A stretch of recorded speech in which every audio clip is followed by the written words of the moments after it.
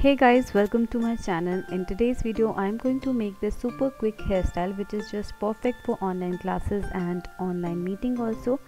And this is super easy and you can make this hairstyle in medium to long hair. So without talking too much let's get started.